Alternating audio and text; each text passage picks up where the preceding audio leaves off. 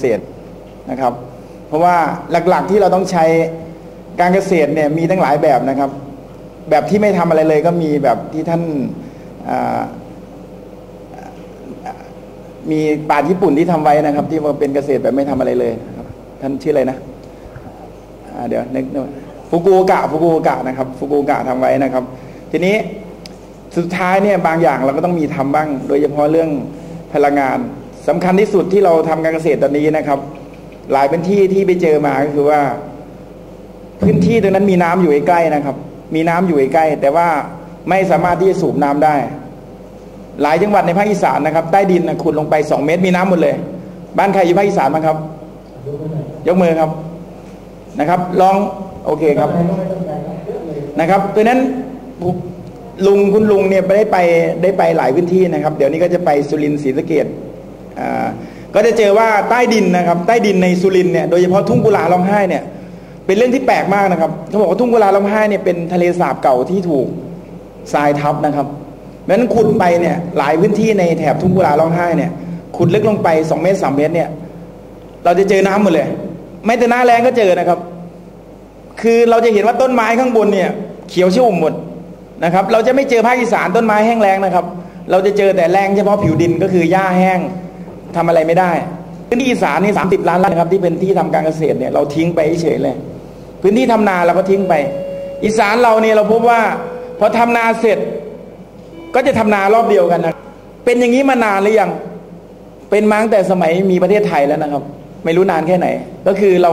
เราทำอย่างนี้แล้วเราก็จะต้องออกจากบ้านไป เพราะว่าเราบอกว่าแรง แต่ความจริงเรามีน้ำหลายคนบอกว่าหูน้ำอยู่ไกลจากบ้านฉัน ต้องไปแม่น้ำมูลแม่น้ำชีเป็นห้าสิบหกสิบกิโลเมตร แต่ความจริงไม่ใช่ น้ำอยู่ที่ถุนบ้าน น้ำอยู่ใต้นาลงไป ปัญหาว่าเราจะเอาน้ำขึ้นมายังไงนะครับ เราก็เลยลองหาวิธีนะครับ หาวิธีที่จะเอาน้ำขึ้นมาเนี่ยจากเดิมที่เราเห็นว่าเนี่ยนะครับ มีทั้งทันตะวัน มีทั้งปาล์มน้ำมันเนี่ยเราไปปลูกภาคอีสานเนี่ยปลูกได้หมด ปัญหาคือว่าพอปลูกเสร็จแล้วไม่มีน้ำให้มัน เราไปปลูกที่ยะโสธรนะครับ ดอกออกมา 47 เซนน่ะ เกือบครึ่งเม็ด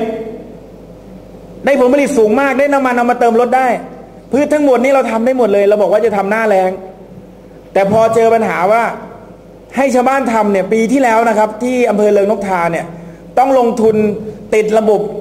บ่อบาดาลนะครับห้าบ่อ แล้วก็เดินสายไฟจากการไฟฟ้าเนี่ย เข้าไปสู่นาห้าห้าจุดนะครับสองร้อยกว่าไร่เนี่ย ใช้เงินลงทุนจากเงินวัดนะครับ ที่เราไปช่วยพระเนี่ยสองล้านกว่าบาท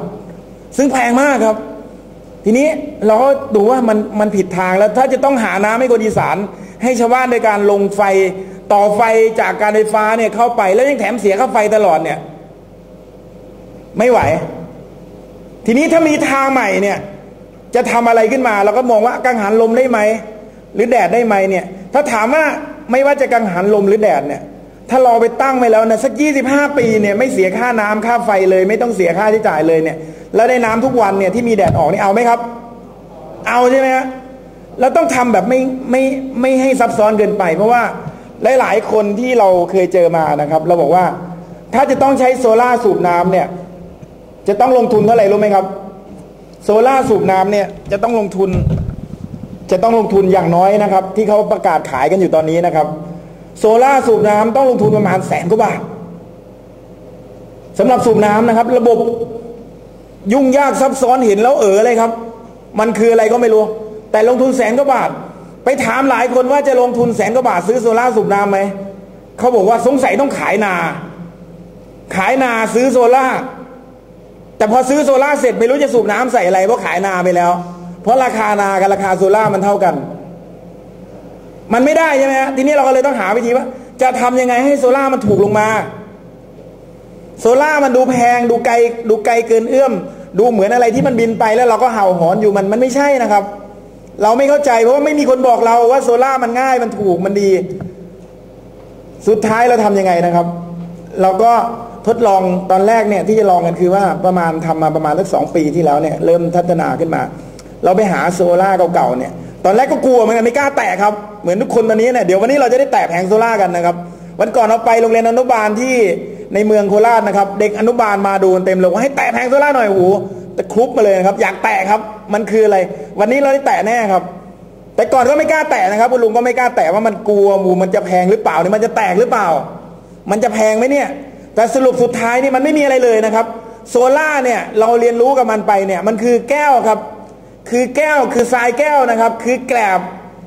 แกลบมีซิลิก้าอยู่ 90%นะครับแต่พี่คือซิลิก้าเชื่อไหมครับว่า เยอรมันเอาแกลบไปนะครับ ไปทำให้บริสุทธิ์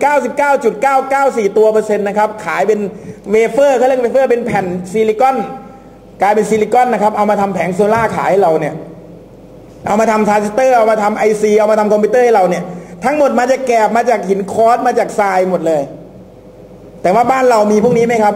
บ้านใครไม่มีแกบบ้าง มีแกบหมดทรายก็มีทำยังไงจะเอามาใช้ได้ครับ มันแพงก็ไม่ต้องซื้อมาก ความรู้อย่างหนึ่งคือว่าแสงอาทิตย์เรานี่นะครับ มันส่องมาที่โลกเนี่ยเขาบอกว่าความเข้มมันเท่าไหร่ก็ช่างมันไม่ต้องไปสนใจตัวเลขนะครับ แต่เชื่อไหมครับว่าประเทศที่แสงอาทิตย์ส่องมากที่สุดนะครับ ที่ได้แสงแบบเฉลี่ยต่อปีมากที่สุดนะครับ รู้ไหมประเทศไหนครับ ประเทศไทยครับ ทั่วโลกเนี่ย ประเทศไทยเราได้แสงมากที่สุดนะครับ ถ้าเหมือนว่าพ่อแม่ให้เงินมาเนี่ยนะครับ ทุกวันนะครับ เรารอรับเงินเราแบมือรับเงินเนี่ย ประเทศไทยเราได้แสงมาก เราได้เงินจากพ่อแม่มากที่สุด สังเกตรู้ไหมฮะสังเกตยังไงว่าได้แสงมาก ลองเดินไปตามทางถนนหนทางนะครับ ให้เขาไถให้เขาตัดไม้ทิ้งทั้งหมดอีกสามปีขึ้นเต็มหมดถูกไหมฮะเวลาเขาสร้างทางนี่เขาไม่ปานีต้นไม้เลยใช่ไหมฮะตัดหมดชมชมขาตัดหมด แต่สามปีผ่านไปมันพลึบเหมือนเดิมเลย แล้วถามว่าประเทศอื่นนะครับ ใครเคยไปญี่ปุ่นไปอังกฤษนะครับ กว่าจะใหญ่เท่าช้ำฉาทับกวางได้ในสองร้อยปีนะครับ ของเราไม่กี่ปีก็ขึ้นแล้ว เพราะฉะนั้นแดดเราได้เยอะมากพลังงานเราได้เยอะมาก แต่เราไม่นำมาใช้ครับ เราทิ้งมันไปครับ เราได้แดดมากที่สุดในโลกนะครับ ของดีๆมีที่บ้านเราต้นไม้ก็โตเร็วที่สุดในโลก แต่ไม่ได้ใช้ครับทิ้ง ทิ้งแบบไม่ปาณีเลยครับ ตอนนี้ใช้ใช้แสงแดดทำอะไรบ้างครับ นอกจากตากผ้า อย่างเดียวเท่านั้นเองครับ ตากผ้า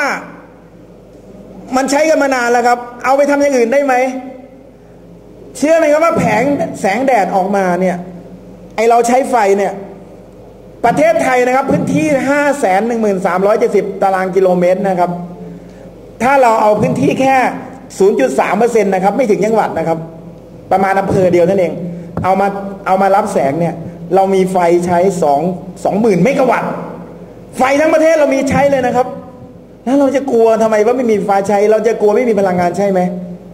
แต่จะรอให้ทำอย่างนั้นมันถึงเวลามันมันนานไป ไม่รู้ใครจะทำวันนี้เราทำที่บ้านเราก่อนทำที่โรงเรียนก่อนนะครับ เราพัฒนาขึ้นมาเนี่ย อันนี้ต้องการให้น้องๆหลานๆเนี่ยมาช่วยกันพัฒนาต่อพราะลุงทำมานี่ลุงทำตั้งแต่หัวดำยันหัวหอกแล้วตอนเนี้ยนะครับ เดี๋ยวอีกไม่นานก็แก่เดี๋ยวก็ตายกันไปแล้ว เพราะฉะนั้นที่อยากจะมาพบเด็กๆวันนี้คือ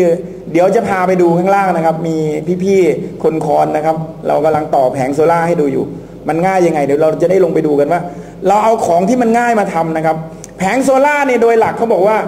จะต้องมีความเข้มแสงขนาดนี้ มันก็จะได้ไฟออกขนาดนี้ ไปถามหลายคนที่ทำแผงโซล่าแล้วถ้ามันคมมันเข้มอีกขนาดนึงอะมันจะได้ไฟมากขึ้นไหมเขาตอบยังไงรู้ไหมครับ ผมไปถามมาหลายคนนะครับ เขาตอบว่าไม่รู้ฝรั่งไม่ได้บอก ไม่มีใครทดลองไว้ แล้วถามว่าอยากรู้ทำไงครับ อยากรู้ก็ลองนะอยากรู้ก็ลอง เราก็เลยลองกัน เรามีศูนย์ลองที่อาสมพลังงานที่บักช่องเนี่ยทำไงครับ เอาแผงโซล่ามาหนึ่งแผง วัดแอมวัดโวลต์เลย มิเตอร์หาไม่ยากกันละสองสามร้อยบาทใช่ไหมไม่ต้องเอาเครื่องมือพิเศษพิสดารอะไร เสร็จแล้วแสงขนาดหนึ่งก็ได้ไฟเท่านี้ จะทำให้แสงอาทิตย์เพิ่มขึ้นสองเท่าทำยังไงใครรู้บ้างครับ ใครรู้บ้างครับ ใส่กระจกครับ เอากระจกสะท้อนสะท้อนไป กระจกมีไหมบ้านใครไม่มีกระจก มีทุกบ้านเลย กระจกแพงไหมไม่แพงครับ แผงโซล่าขนาด 20 วัตต์นะครับ แผงละ3,000กระจกแผ่นละ 30 ครับ ขนาดเท่ากันเนี่ย